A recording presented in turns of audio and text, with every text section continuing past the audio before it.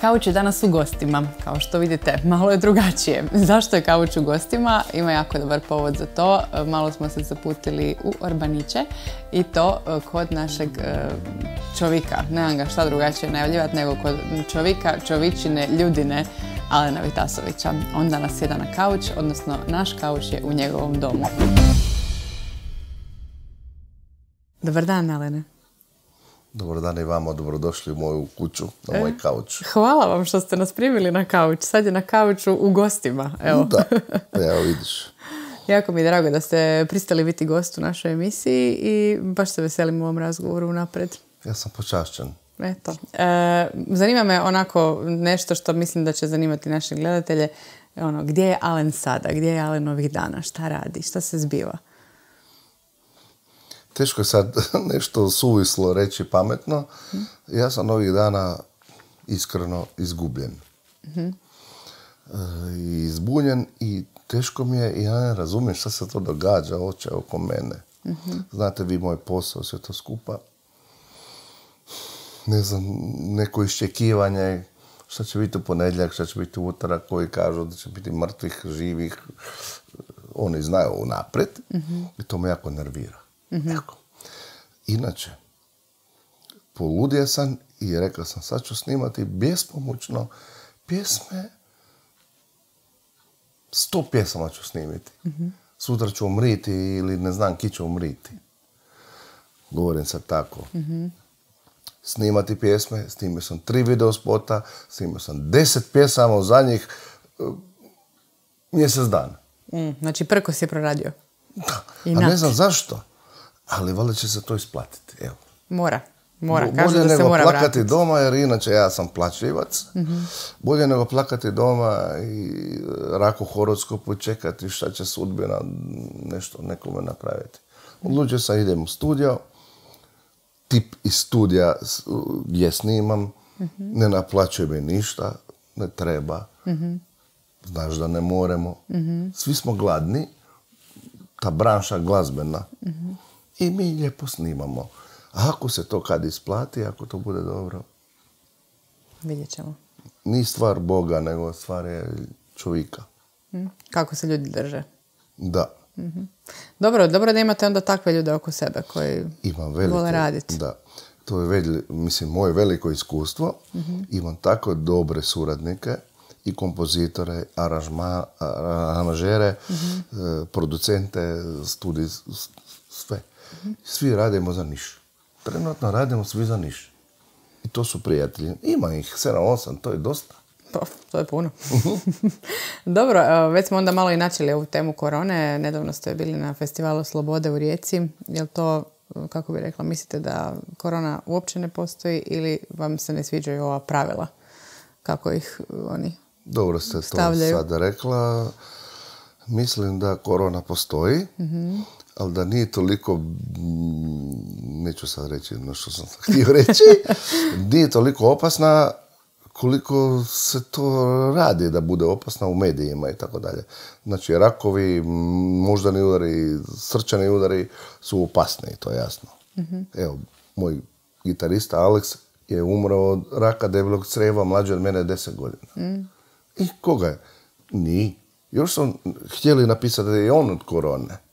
E, to me nervira. Ja sam išao uh, u Rijeci, jedini pevač, mislim da sam bio u Rijeci, koji je došao tamo idiotski, pod navodnicima, reći da ljudi nemojte više. Smirite situaciju, lijepo delate, nemojte mi 24 sata stalno govoriti kako ko je umro. Pa imam glas Istra, imam novi list, Umro je Marija, Fumica, Bepo, Tone. Ne piše korona. Ne, ali oni meni svaki dan govore od korone. Nije umro od korone. To meni smeta. Nije umro od korone. Umro je iz svih tih e, stvari što se događaju, će inače bio bolestan. E, korona samo to, nažalost, e, uspješila da čovjek parti malo mladih je umrlo, nešto je. Ja sam čuo, nisam ja protiv da se e, mjere drže. Ja uvijek imam masku. I poštivan sve mjere i stvarno poštivan. A ovi dalmatinci ili ne znam ča je tamo, ne, mi Istrijani smo dobri. Evo, ča da reče, e, korona je sad prisutna i nije dobro. Da li oni to rade namjerno ili je to stvarno tako opasno, ja nisam stručnjak, ja se ne kužim u to. Ali mislim da ipak pretjeruju. Evo. I fali vam scena. To je hm? onako, jasno. ja ovako, nakon 40 i nešto godina, ča sam na sceni.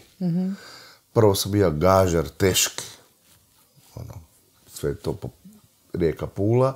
Amadeus. Amadeus i Sharks i Švedska, Finska, Norveška, sve sam prošao. Cijelu Europu. I onda uh, imao sam i, dobro, imam, napravio sam bio obitelj i dvoje djece, evo, vidjeli smo ga Ivana. I u jednom trenutku prije 3-4 godine sam rekao ja više neću to. To je prednaporno, to je preumorno psihički. Doći na, na gažu u dva ujutro. Kad onda dođu djeca pijana, s majsterom, vodkom, ne znam šta piju. I ne bruse ništa, ne, ne rade ništa. Dođemo jedan i po, eh, oni meni dođu jedan i po na koncert. I traže od mene da budem neki. Ja umoran, već sam, već sam umoran, ja imam godine, imam 52, mislim, to je jasno. I ja moram to otpjevati. Od 1 do 3. Oko 3 i 30 završim i kaže neki gazda tamo. Veliki bos. Ne znam čega. Smiješni neki lokal. Ili dobrih lokala je bilo. I onda sam rekao, neću više. I onda je došao taj problem sa ovom što se sad događa. I kako mi to fali. Znaš, sedam mjeseci ja nisam bio na pozornici. Čovjek je rođen na pozornici. Moj otac je bio na pozornici rođen i ja sam rođen na pozornici. I sad oni su mi oduzeli ne kruh, nego dušu, srce. Eko. Jako mi je teško. Nadamo se svi da će to što prije finiti. Da ćete moći to sve skupa ipak vratiti što prije. Nisam ja tu sad ja nisam ništa kriv, ni ti, ni nitko i ljudi, evo, gospodin radi. Mi uvisimo o nekim situacijama koje se u svjetskoj razmjerima događa. I ovi naši četiri stožara, on imamo Kozlevca u Istri, pa onog tamo. On će reći meni sutra ne smiš poje u štariju. Zatvoreno je u štarija. Sve te maske i to, aj, greš u butigu, ali neka pin zašto u butigu moraš imati masku, u štariji ne. Nelogično je malo. Ima puno nelogičnosti. Ono neke svadbe, pa neke se uvijek nešto zaraze. Dobro, ali ovo kad smo pričali, evo sad ste, vi ste spomenuli svog oca, za koje kažete isto da je rođen na sceni, pa onda evo i vi. E, što je nešto što ste vi najvažnije naučili od svojih roditelja? Kako da ili kako ne? Može oboje. Moja mama se zove Željka, a tata mi se zove Anton, ali svi ga zovemo Tone Livi. Livi, zašto Livi? Ljevoruki? Da, jer svira harmoniku na lijevo, naopako. On se rodio, ja isto sviram na lijevo i na desno, kako, kako mi dojde. Ja mogu jedno i drugo. Ali sjećam se da on bio mladić, to mi uvijek tata govorio, i nije imao novaca za harmoniku, a znao da nešto on ima tu, ništo da ima. I onda mu je neki baraba kupio harmoniku. I on je uzeo tu harmoniku i okrenuo je ovako, naopako, na livo. I snašao se. I, i takako se snašao, mislim. Ali puno puta on zezao ljude na svadbama, znači dvije, dvije tri tisuće svadbe napravio čovjek. Piri. Da, sve na lijevo. I puno puta je došao na tako na svadbe. E, gle, ovo je majmun, ne znam ni kako se harmonika drži. mm Pa su šutili kad je počeo svirati. E, da, da. Ko Jimi Hendrix na gitari. To je to. I čas se mene dogodilo. Vidiš kako je odgoj, to što, si, me, ste me pitali, mhm. e, odgoj.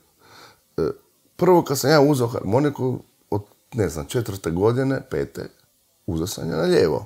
mm ne, a? Desno. Ajoj. Tata, nećeš ti svirati kaj ja na lijevo. Ja govorim, ša, ja svirim tako. mm I ja sam znao sve to, ne sam samo kako, kako i on. mm Nismo mi note učili. Poslije sam završio note. mm Ne, ne, na desno. Zašto? Jer će ti biti lakše u životu. Rekao, e, da, da. Da. Imam ja neke kojima su tako isto. Ti jasno sve. Maltretirali ih da pišu desnom jer će im biti lakše u životu. Ja sam pisao lijevom. E, da. Isto. Tuf, onda desno. Ali ti uzmu jedan dio, evo, mi smo sad kao neki prijatelji, mm Vedrana, uzmu ti dio energije, znaš. Nešto je posebno u, to, u tome da ide to tako. Krv gre uda i samo mora pojeti desnu ruku. Mm. ja bih rekao sad nešto, ali neću, jer smo na, u medijima ča delam s desnom. Niš, skoro niš, a neću reći ča. Ostaće onda na ljudima da procijene šta je moglo procijene Čavi, Alen. Ali bit će ono lijeva dela ovako. I uvijek Gadina, kao Freddie Mercury, on di, Freddie Mercury i Queen, mm on digne desno, ja uvijek lijevu. Eh. I na koncertima kad pijan, kad počne publika, ono kad plješće, mm sve to skupa, lijeva gori. Mm-hmm. Ne Mussolini desna. Ja nisam fašist. E, dobro. Ja sam komunist. Da, evo, dobro da ste nam rekli. Ali ne komunist, ono, staljinski, nego... Jasno mi je, jasno mi je. Pošten čovjek. Pošten čovjek, anti, anti-fašist, ajmo to tako reći, evo. Hm? Nisam ja Milanović. Dobro, bolje Milanović nego Plenković. Evo, onda ste mi već uzeli jedno od pitanja koje ću vas pokaznije pitati, ali dobro. E, zanima me sad još ovo s instrumentima. Nekako mi se čini, možda mi se krivo čini, da neki ljudi ne znaju da imate tako široki spektar e, instrumenta koje svirate. Znači, tu je i harmonika, klavir znamo, ok, pjevanje, to po tome vas vjerojatno većina i zna, ali tu je i saksofon.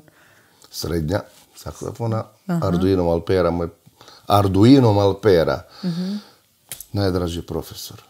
I još radi. Saks. Ma ne, ja sam svirao sve instrumente. Mhm. Samo gitara mi nije išla jer sam ljevak. Mhm. Ako ti znaš kako se uzme gitara u ruke. Ovako. da, vidiš di je ta. da, da. A di je meni? Tu. E, da, da, obrnuto. Ljevak, Paul McCartney, Jimi Hendrix i tako. Meni odmah tu. I onda moraš mijenjati žice. Onda je, sve problem. Sve problem. Uh-huh. Onda sam odustao gitare, to mi je, jer volim gitaru. Mhm. I sound gitare, evo sad mi je umro Eddie Van meni pazi. Da. Eddie Van Halen. Dobro, mnogima. mnogima je umro. Da. da, ako, vi će znaš. Naravno da znam, pa kako ne bi pa to mi najdraži. E, pa normalno. Ok, Satriani, Steve White, to sve tako. On mi je umra od raka pluća, alkohola, svega, ne, ni mhm. bitno. Bajk sam patija za gitarom. A klavijaturu, saksofon, bubnjeve, ruženice, to sve, mm kapiš? To, je, to mene gre, imam ja sluh i mm, smo na samouken. mm Jako mi je drago da sam bija u osnovnu školu završio muzičku i srednju muzičku finija da sam naučio note i da se snalazim s tim. To je jako potrebno. E, ako si talentiran, ako još imaš i to znanje. To znanje neko, si vrh. Dobitna kombinacija. Pa dobro, možda sad ovaj, dok je ovako malo to zatišje da se pozabavite gitarom. Ne? Gotovo je. Gotovo. Sto posto. Dobro, okej. Ja znam je mol, gedur, adur, to, ali ne znam svirati, ono, znaš, to. mm Onako baš kao Satrijani, recimo. ne, ne, čekaj. ne znam koji su apetiti, pa zapitam odmah. ne, ne, apetita nema tu. Meni je bitno, ja bih volio neki put uzeti gitaru, kad imam koncert, mm imam ja svoga gitaristu, Vedra Mozila ili Alen Špad, ali sve to ok. mm ali bi volio neki put da uzmem onako gitaru i da brčkam te tri akorda. mm Onako, sebi za dušu. Da. Da pomognem bendu. I ne. Za sad ne. Za sad ne. Dobro, ali ima još vremena, ja sam sigurna. Pa nego šta. Pa nego šta. Dobro, u tim svim e, godinama na sceni, e, na neki način koliko god ju volite, koliko god, e, evo i sami kažete, ono, rođen sam na sceni, bilo je ipak i tih nekih, hajmo reći, negativnih stvari. Barem, kako sam shvatila, vi to tako povezujete. Da me nekom trenu bio i teret. Znači, čovjek od 22-3 godine. mm iz nekog malog sela, evo tu smo u Urbanić. mm Imao sam ja iskustva prije, to je ok, ali e, nisam ja e, nikad računao ni spreman, nisam bio da ću ja biti neki pjevač, popularan, ne znam, državi, bilo koje, recimo Hrvatskoj. I snimiš pjesmu, ne more bez nje, Sandru, jednu noć, guši se gušti, u polu za Farkanciji ja Livio Moražin, moj mm kompozitor, najbolji. I svi su poludili. I jedan put iz, ovog kauča gdje smo sada, ja sam u Lisinskom. Imam samostalni koncert. Normalno je to šok. Za mladog dečka. mislim, nisam ja, mislim, čovjek sam već, ali 24-5 godina nisi spreman za to. To treba, to je Livio uvijek govorio Morožin mm Ti trebaš završiti školu da, da se pojaviš ispred publike. Mm Pustimo gaže koje sam ja radio normalno to terase za Slovenke i Austrijanke. To je niš. To je lako. Sviraš tuđe pjesme, ali tvoja pjesma u Lisinskom. Mm. Rasprodanom. Rasprodanom i oho, ho, rasprodanom i jako je teško psihički izdržati. Mi smo morali bježati kao u Beatlesi nekad. Publika je došla na pozornicu, ne publika, žene, cure, djevojke. Mi smo bježali i kroz prozor smo morali izaći van iza pozornice da, da, idemo spavati u hotel. I u hotel su dolazile i lupale na vrata. E, ja sam spa. I sad budi ti normalan. To je bilo, bilo vaše pitanje. Da, da. Kako se snaći u tom trenutku kad nisi spreman da niš? A u tom trenutku sam već bio i uženjen. Mm-hmm. Pisto materijalno. I dijete je bilo na putu. I kako obitelj, kako biznis, kako lovo, kako žene. Znaš kako su žene? Dobro, malo sad... Da nije bilo žena, ja ne bi bio živ. mm One su me spasile. Ali teško je to bilo jako spojiti, to je mene jako potreslo, to je mene jako, jako poljuljalo. E, onda smo ja i Livio, ali inače ja pribjegli dosta alkoholu i svom skupa da nekako izdržiš to. Da preživiš. Puno puta kad sam gledala ili čitala neke vaše intervjue, onda kad ste otvoreno pričali o tom alkoholu i tako, onda sam negdje uhvatila kao da ste rekli da ljudi zapravo ne razumiju šta je to ovisnost, kakva je to ovisnost? Zna, ja sad ću, sad ću sad reći. E, istina, lijepo ste rekla, to je ozbiljna stvar i jako teška. I ljudi koji su se suočili s tim, e, vi, možda vi, ne vi, nego neki misle da su to slabići, pijandore, štupide i glupani i niš koristi. Ne. Upravo suprotno. I kad te, kao svaka ovisnost, ne znam ko ti fumaš, fumaš? Evo, to mi je drago. Sve kad te preuzme nekako u, u tom nekom mozgu, znači komadić mozga je tu. Mm-hmm. Je ovdje, ono je ondje. Najlakše reći čovjek je blesav, pijan, štupido. Mm. Imaš glupa neki su pijani, ne znam ni zašto su pijani. Mm-hmm. Ali većina alkoholičara, pravih, pazi meni, pravih alkoholičara su zato jer su dobri ljudi. I ne znaju kud s emocijama. Jel bi to vi isto rekli da je tako? Da je taj, ono, da su emocije toliko jake i preplavljuju da negdje ono moraš da. Moraš ih nekamo smjestiti. Ja, većinom, ja sam imao iskustvo, bio sam tri puta na rabu, uopće nije problem to sad spomenuti, meni to ne smeta. I par puta u rijeci tražim rješenje. Mučim se. Znam da sam emotivan, znam odgovornost, znam sve i onda opet te zeznu. Taj, taj klik koji nije dorađen do kraja. I završiš, ne znam, nekom polu ne znam pojma, to je smiješno. Ali ja znam te ljude koji su bili sa mnom na puno tih situacija, to su divni ljudi. Većinom su umjetnici, inteligentni, e, dobričine, emotivci normalno. I pate, nešto pate, nešto he boli, boli he za umriti. I onda niš se napiju tu večer i zabe da su živi. Jer to nisu racionalni ljudi. Oni, znaš, radi to, dobro da nas niko više ništa ne radi. Dođe doma, čeka ga maneštra, kaže netina, e, seks jedan put na mjesec. I njemu je normalno, njemu je to ok. Ovi drugi očekuju više. Ti ljudi, slikari, umjetnici, pjevači. Bude velika frustracija. Previše, previše razmišljaju, previše pate. Pate. I onda tih par sati kad te preuzme alkohol, če ja tebi govorim? Tih par sati kad te preuzme alkohol, zaboraviš da si živ. Sutra se probudiš, če se dogodi? Užas.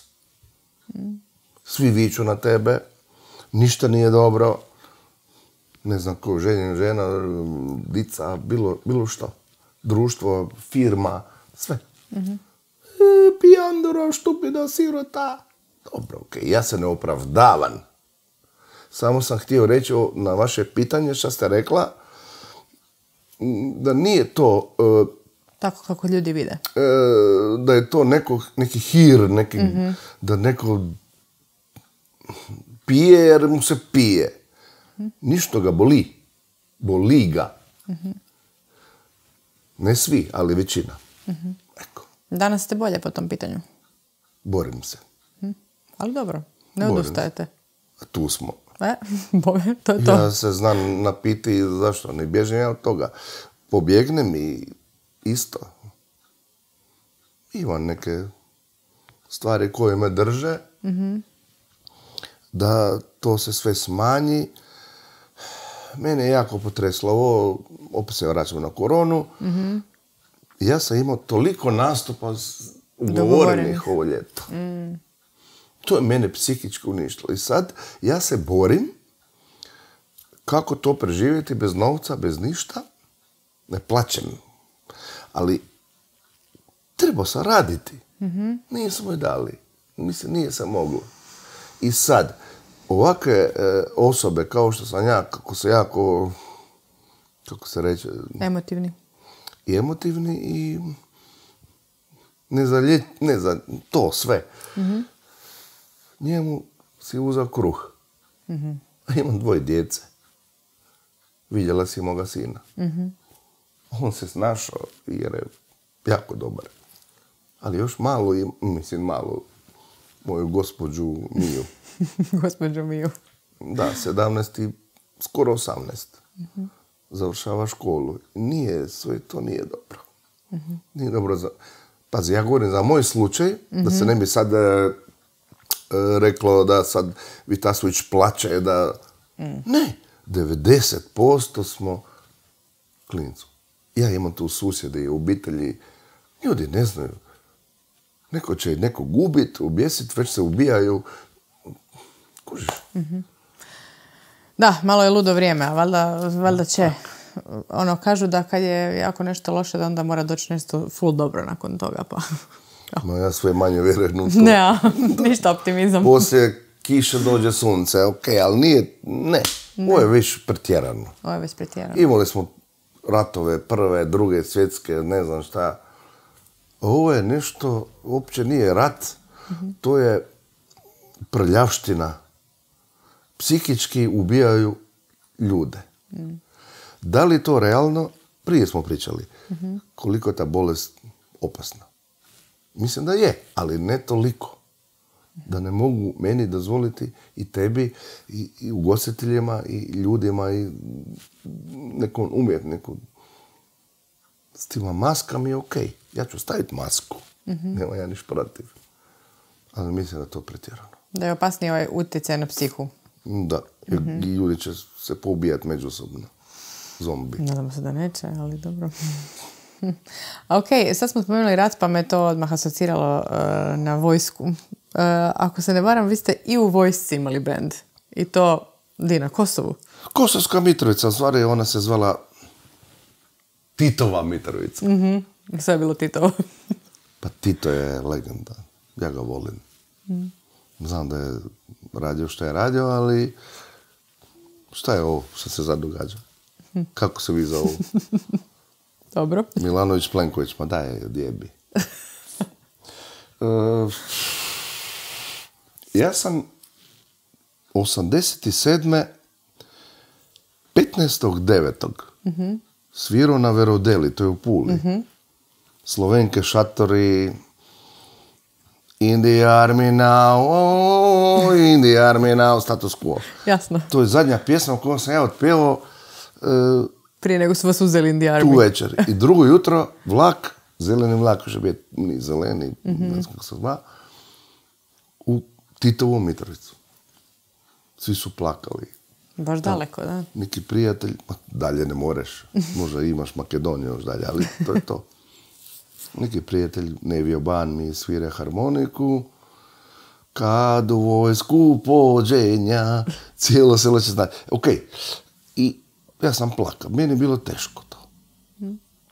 I najgore je tek došlo, kad sam došao tamo u pet ujutro, neki bošnjak, neki desetar, ako znaš šta je desetar, Vitasović, Bešić, Golčić, tu. Jednostavno tamo su nas uzeli. Ja sam ima futbalerku. Ono, Duran Duran. Ja, tako se nosilo. To se, mislim, ko nije imao, nije bio. 86. 7. Da. I ja dođem tamo, u pet ujutro, i one me utrpaju u neku, dobro sad, to je patetično, ali utrpali su me u neki kupatilo. I poprašili su me za nekim prahom, znaš kao Auschwitz. Da, majke mi! Joj. tuširanje. Kad je finalo tuširanje, frizer, znaš koliko je trajalo uh, frizura? ne znam. 20 sekundi. O, kako to? Mašinica. I gotovo. Ja se gledam, to nije Alen. Plaka sam, iskreno, plaka sam. Kako malo dite. A još sam bija dite. Onda. I spavati. I nakon uro vremena e, te probude. Gol do pasa vježba. Na vitru u Kosovskoj Mitrovici, tamo užas. Titova. I vježbati. Nikad sklek nisi ja u života, znači nije. Onda se ga mora deset načiniti, ako ne, dobiš neku kaznu. Joj. Znači, to je stvarno tako kako pričaju ljudi da je bilo E, veselo. časna riječ. Ali dobro, uz to ipak se dogodio i neki bend. Usput sam se ja malo ojačao, znaš. E? Nakon dva dana sam prestao plakati i sam vidio da sam lip, lip čovjek. Više nis, ali baš ono, neki vrat sam dobio, mitraljer sam dobio od 15 kila, najveći, zašto meni, ne znam zašto. Ni šarac, kako se to reče, Bata Živinović, Nikola, ovi Samrđić i to. I onda, nakon mjesec dan, ko ovdje zna svirat nešto? Ja sam rekao, pojavilo se pet budal, među njima ja. Ča ti sviriš tamo neki džipsi je bija tarabuku. Ča je tarabuka? Ono, niš. Aut. Bija Alen Svetopetrić. Ki je inače danas najbolji basista inače u Hrvatskoj. I Siska je bija. On i ja. Ja sam bija drugi Alen. I mene su poštili doma iz vojske jer sam rekao da znam svirati synthesizer. što je tu? I tako je nešto bilo i mene su puštili doma tri dana, taman da donem vlako nazad i tata mi je, ja sam ima taj Korg Poli 800, kako se mhm. zva, i ja sam to donio u vojsku. I ono, ono sve švikalo, pazi, to je bilo 87. mm Ja sam to donio, ja sam postao zvijezda tamo. I ti Svetopetrić isto pošla po bas, Siska, mm vrhunski. I mi smo napravili bend. Onda smo uzeli jednog Srbina tamo da svire kola, harmonike. I neki buber smo bili vajk rabijani, ljuti na njega, jer ni znan, vajk je bio van tempa. to je uvijek na bubnjeve, odnosno na bubnjare, uvijek je to. to van tempa si. da, I uglavnom, dom armije je, je postoja. I to je mene spasilo. Ja sam ušao s kasarne, vojarne, sad se reče, u dom armije. Ja i Sveto Petrić, taj Alen, i tamo sam ja živio i spasan tamo. Znači, od 12 mjeseci čas sam proveo, isti dan sam došao, 16.9. i 16.9. sam se i vratio. Znači, zadnjih 9 mjeseci ja sam bio u domu armije i nije mi bilo loše. Super. Dobro, a poslije toga je bila situacija i kruzer. Da? Znači, ja sam finjao vojsku i tu sam na, na nekim bendima, alright, i nakon par mjeseci me zovu gori u Skandinaviju. Da su čuli neki mladi saksofonisti, klavetoristi, da lipo kanta, da je zgodan. I onda su me zvali. I pošao sam gori. Tri lita. Jel bi se vratili opet na tu varijantu? Da vas sad opet zovu? Ja bih sad pošao u Finsku immediately. Da? Da. Samo zbog uh, ljudi kako tamo razmišljaju drugačije nego mi. Mm-hmm. Otvoreni su malo. Ili ne? Ne, totalno su zatvoreni. Mi smo otvoreni. E, dobro, to je sad kako ko ima iskustvo. Ovisi po čemu su otvoreni. Ne znam, di si ti bila? Bila ja u Finskoj. Imala ja iskustva sa ljudima u Helsinkiju. Ja sam bio laparat na Helsinki, Lahti, Tampere, Turku, sve. E, pa super, ali dobro, znači nisu otvoreni u smislu da će se smješkat na cesti, da će se ljubit, ne znam, kako bi rekla, pozdravljati, ali otvoreni u smislu nije ih briga je neko homoseksualac, nije homoseksualac, ništa to ne gledaju. A s te strane si dobro rekla. E, na to sam Meni se najviše sviđa kod skandinavaca, pogotovo kod finaca. Oni ne znaju lagati, mhm. ne znaju krasti, ne znaju psovati. Ja kad sam uh, preveo jednu psovku, da ne rečem ku, sada, mm ženska je počela plakati. A šta ti te čovjek napravio da si mu to rekao? Aha. Niješ, zajbavali smo se. Oni tamo su imali, kad je to bilo? To je bilo stvarno prije 30 godina. Oni su imali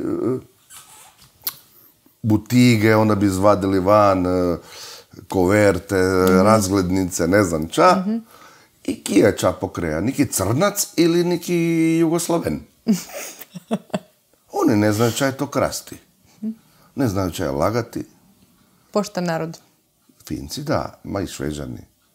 Ali šveđani su se zatrli jer su, baš su došli u i svih kraj.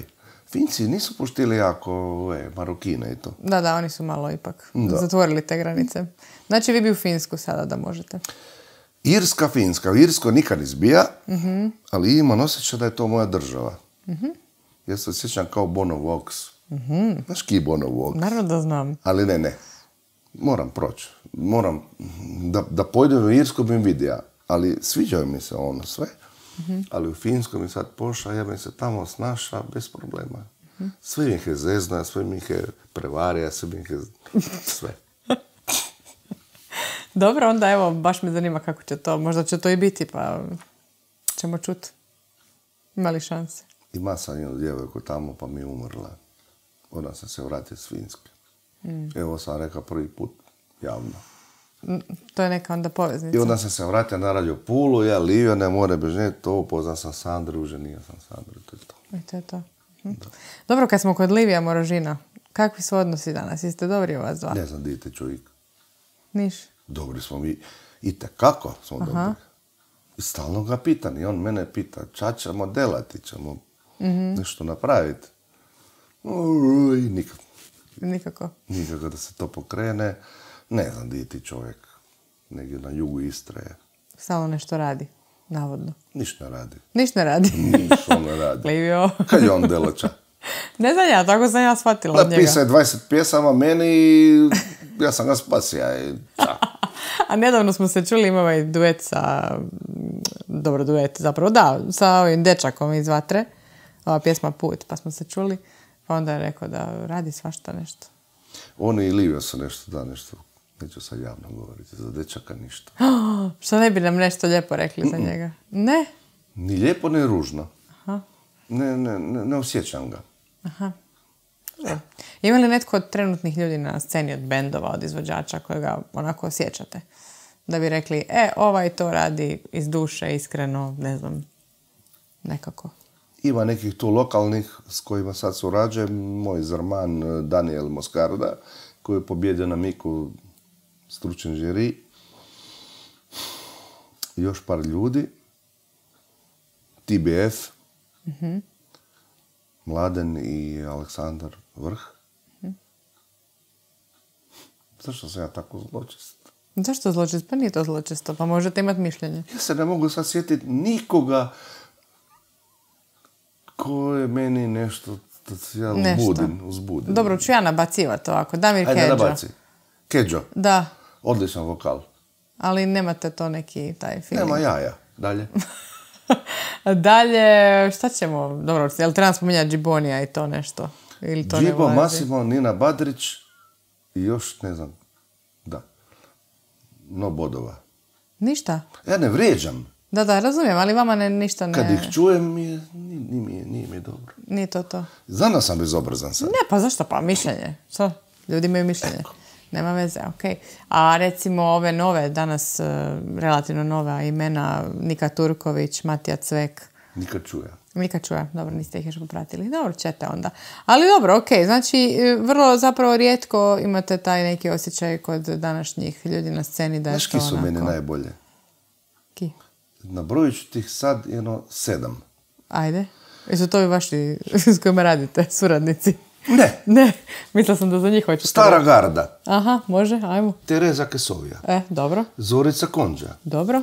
Ova... Mm, Zdenka Kovačićek. Zdenka Kovačićek, bravo. Jasna Zlokić, Meri Cetinić, uh Oliver Dragojević, uh Mišo Kovač. uh još tri, četiri, sad se ne mogu sjetiti, zabar... ali to je meni bilo dobro. Valjda sam tako odgojen. A ne ovo sad sve ništo glume. Jel vidite nekog nasljednika eventualno? Od mene? Da. A ne taj moj zarman. Bi mogao? Da. mm Moskarda, ali nema on... A ovi tu naši tići, Šajeta, žadan, Mauro ja, Šajeta smo brati. Mi mi ne znamo ki se više sprodače, ili ja on s nama ili on s nama, kapiš? I ti Betifjake, i Edi, i Gustaf, i mm Livio. To više nije uopće za usporedbu. Mi sami ne znamo što ćemo, kapiš? Nije to nasljednici. Ki nasljednici? Niga, ne. Dobro, šta je nešto po čemu biste voljeli da vas ljudi pamte? Generalno, i za života i kad vas ne bude. Ma ne znam sad kako ću sad nešto pametno reći, jer, jer nimam neku veliku inteligenciju, to je jasno. Te moje pjesme govore same za sebe i to će ostati. A koja je vaša najveća vrlina? Je li iskrenost? Dica. Dobro. Dica. Hm. To mi je vrlina. Glupost. Ali moja najveća vrlina je upravo ono što smo prije govorili, što sam vajk nesričan, previše suza, emotivnost, lažljivac i iskren. mm Sad čad sad to... Mm-hmm. Kako Dobro, to jedan lijepi miks, jedan lijepi miks. Da, kako to skombinirati? Dobro, ali često ste iskreni recimo i u tim, evo i u intervjuima i u tim istupima na društvenim mrežama, bilo je tu zanimljivih objava. Ovo će sam rekao da sam lažljivac, da. To, je, točna. Dobro. Ali to rečem samo zbog vas ili zbog ljudi ili zbog nikega, onda ništo izmislim, izlažem. Jer ako ja rečem sve u oči, najebali ste. Zašto? Jer ću, bolno je. Ja pa dobro, nema veze. Bolno je. Jako. se nositi s tim. Dobro ti. dobro ti. Mene je mama, to će, će si prije pitala za oca, sad neka liva ruka, sve to zumuje. Mama me naučila da budem depresivan i da budem tužan i nesričan. Cijeli život nesričan. A otac, tata, me naučio da budem, mm, dobro, sviriti, to jasno, da glumim malo. Opet se vraćamo na neku laž. Malo glumiti noća nisi. Jer to je meni najveća mana. To su mi rekli PR stručnjaci, svi. Ma ti si idiot, ti sve rećeš čak pensaš. I to je istina. Pa reći ništa će oni žele čuti. E, što vam se čini da je najvažnije da vašu djecu vi naučite? Koje je teška pitanje, sad me A zajebavaš. ja moram i neka teška, ne mora sve samo cviće. Mislim, pitanja su jako korektna i, i, i lijepa. Ne, ne pitaš, ne pitate me um, ono, privatno. Ovo je privatno, ali eh, ajde, reci ti meni. Čak ti svoju djecu naučiš. Jo, ja ću biti jako sretna ako ih naučim, e, sada jedno, ali možda ih bude i više, ako ih naučim nekako da budu dobri ljudi, da se izbore za sebe. Da, puno si rekla sad. A ja, ali da se izbore za sebe, a da budu dobri ljudi. Mislim da je to danas teško. Meni, mislim, ovako, drago mi je da sam, da imam dvoje djece i gospođa Sandra koja je to rodila je poštena isto. Ja mislim da sam ja pošten i tu smo išli u tom smjeru. I da, fali, fali, fali tu. Fali u smislu da budu malo žilaviji. Sin je žilav, Ivan. On, on je, on se zvuka, on je šegaco, znaš je šegaco. Radi na benzinskoj bez problema, uvijek nešto zmulja. Ali kćer mi je problem jer ona je mekana kao ja. Evo. A još je žena. I sad je to jako, recimo, nezgodno i opasno. Nju, nju moram, moram, no, ali opet ne možeš ti djecu, većinom to individualno, svaki se napravi kako se sam napravi, ne može ga tata ni mama naučiti nemoj ovo, nemoj ono. Ne, pusti ga. Ja sam moju djecu uvijek puštao. Evo, baš sina. Nikad mu ništa nisam zabranio. Znam da je no, nešto malo pušio. Ili, ne, znaš, ono, neki roditelji ne smiješ vone, ono, one. Polože za auto, finija i sve. I on radi. Nikad ga nisam ništa pitao di je bio, s kim je bio, kega Brusića dela. Kega Brusića dela. Da. I to je se pokazalo dobrim u njegovom slučaju. Isto tako za kćer. Ne miješam se ja u njihov život. Niti idem samo na informacije u školu kad treba ići, ali nikad ja nju po cesti ne kontroliram, ne lilam kao nekad će su mene gledali. Ne, ili si ili nisi. E, dobro, pa evo, je li to najbolje da ih se nauči? Da. Ili si ili nisi. Ili si ili nisi. Dobro, e, kad sam spomenula ovo da ste i na društvenim mrežama dosta iskreni u nekim objavama i tako, e, bila je jedna koja se ticala Severine. Jel to još mislite, jel to stoji ili ne stoji? Ja cijenim Severinu.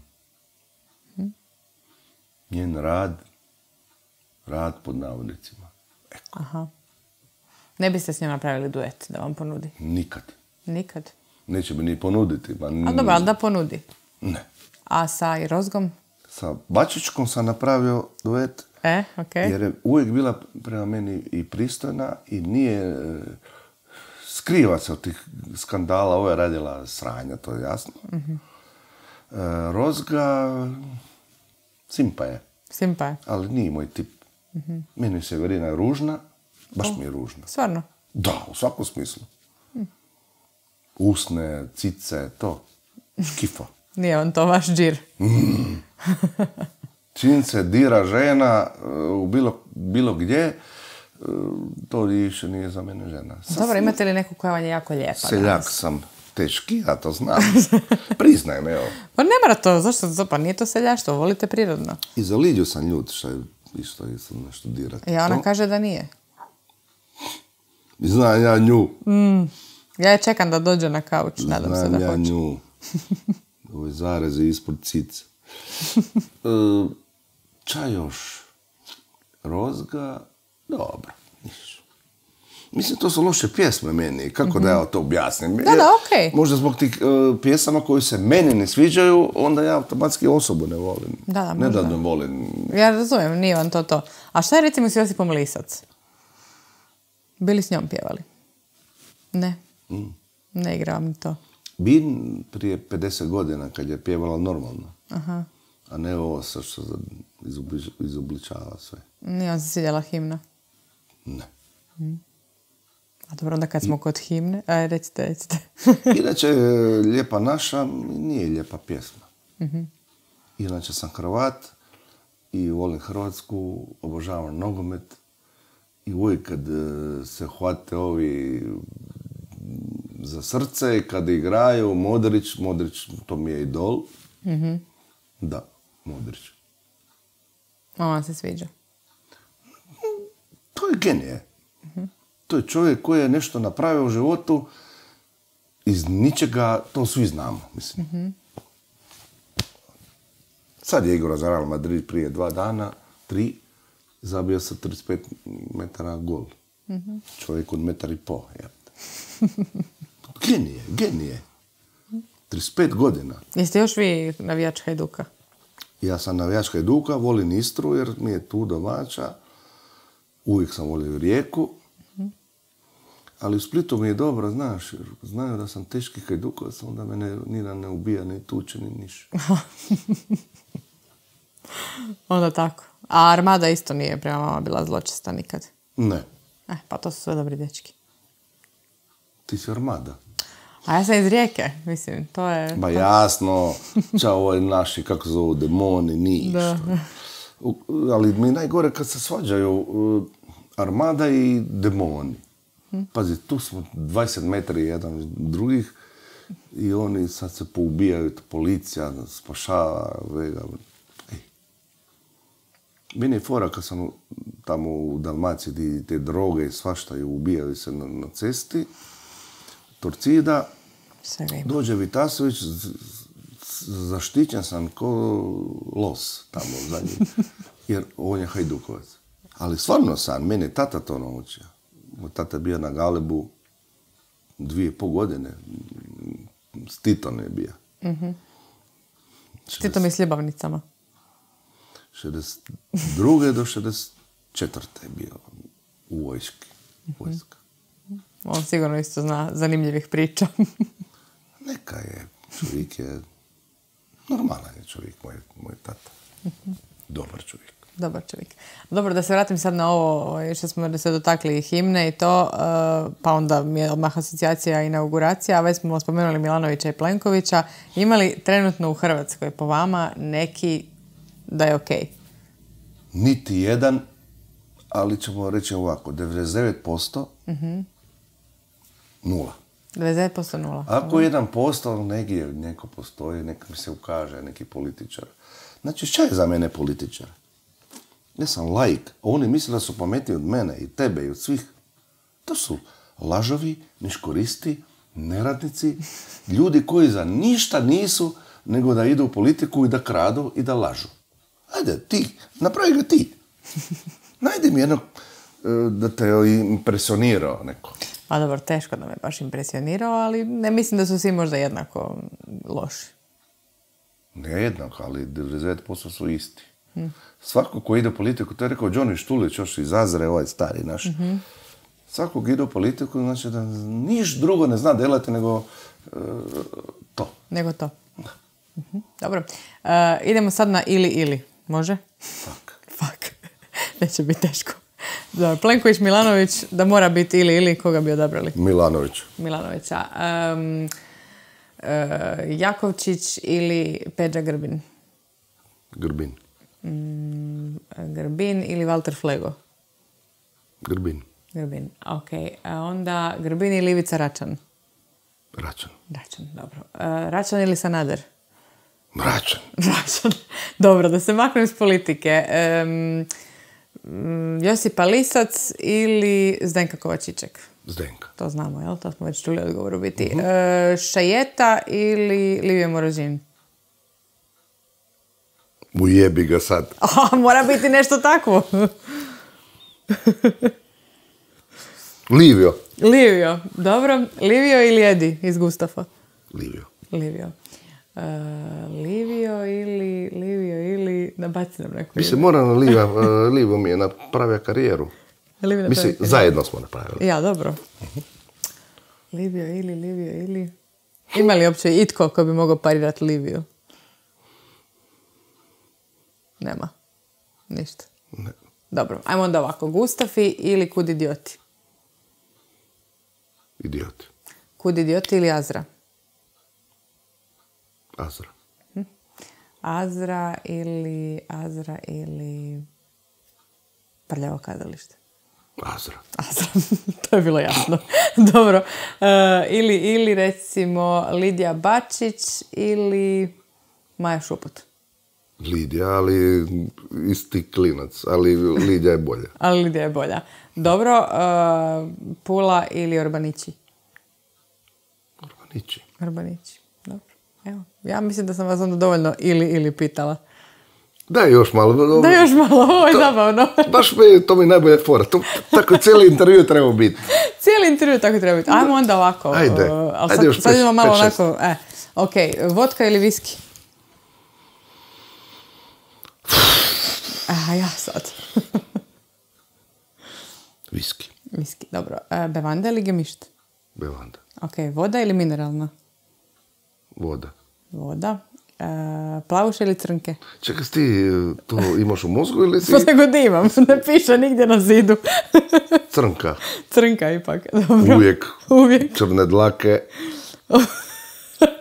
Homoseksualci ili lezbike? Da Ne razumijem pitanje. Pa ono je, on to, kako bi rekla, ko vam je simpatičniji? Jel vam jednako? Lezbijke, ali da su obi dvije sa mnom. A ja, a onda to nije više to. onda je to već neka druga priča. Ne, ne, to je jako loše pitanje. Ajde. Jako loše pitanje. Dobro, ajmo onda ovako. Radio ili televizija? Radio. Radio. E, kafići ili dvorane? Kao za mjesto za koncert, to mislim. Aha, dvorane. Ipak dvorane. Da, ja sam za dvorane. Za dvorane. Meni fale dvorane, ja sam Rolling Stones. Dvorane ili stadioni? Bono Vox. Pa tu smo, da. Ono Vox, mislim stadioni. Stadioni. Dobro. e, Jimi Hendrix ili Van Halen? Inače, moj e, životni san je nastupati na Wembleyu. I, I sam sam sebi rekao još prije 20 godina ja ću na Wembleyu nastupati. Kad sam vidio Freja Merkurija kad diže ruku, We are the champions, Radio Gaga, to. Ali normalno da to neću doživjeti. Stadion. Nije još gotovo. Hendrix ili Helen? Sad, to je tako glupo pitanje, A mislim. nema veze, mora biti i glupo malo šta. Da sad morate izabrati. a Imate... Ajmo neriješeno. Aha, neriješeno. Jer ovo je ovaj, a ovo je ovaj. Ja znam, ali sad imate opciju u ovom trenutku e, naći se s ovim ili naći se s ovim i možete izabrati samo jednu. Odabrat ću Jimi Hendrixa. Evo, pa vidite da nije tako. Zašto? Jer je dvije godine zdrogiran, odsvirao na lijevu ruku, e, neškolovan ni niš, a ovo je ipak imao neku pedigrej, sve to skupa. Tako da Jimi Hendrixu dajem prednost. Dobro, ok. A onda Jimi Hendrix ili ovaj e, Freddie Mercury?